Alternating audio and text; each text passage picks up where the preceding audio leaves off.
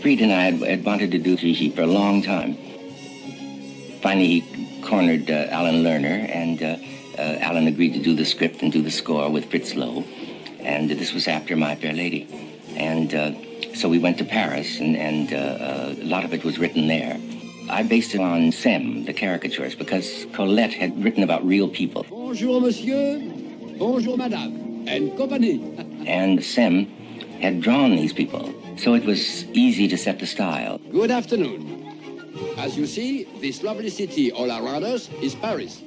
And this lovely park is, of course, the Bois de Boulogne. Pardon me. Basically, it's awfully good.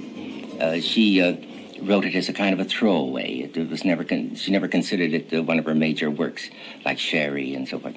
But it's the one that's endured, you know. It'll be marvelous fun. What time tomorrow will we get? Can I watch you play roulette? May I stay up late for supper? Is it awfully, awfully, awfully? You'll drive us wild.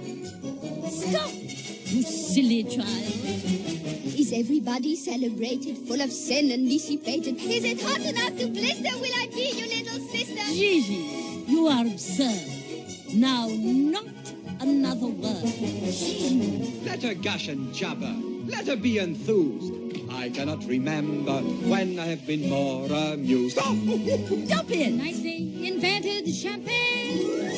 It's plain as it can be. They thought of you and me. The night they invented champagne. They absolutely knew that all we'd want to do is fly to the sky on champagne and shout to everyone in sound that since the world began, no woman or man has ever been as happy as we are tonight.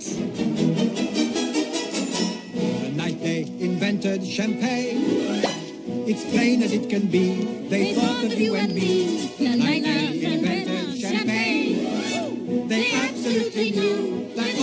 to do is fly to the sky on champagne and shout to everyone in sight that since the world began, no woman or a man has ever been as happy as we are